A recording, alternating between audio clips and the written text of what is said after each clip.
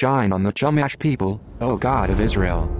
Bless, my soul, the Lord for all his marvels forever, and may his name be blessed.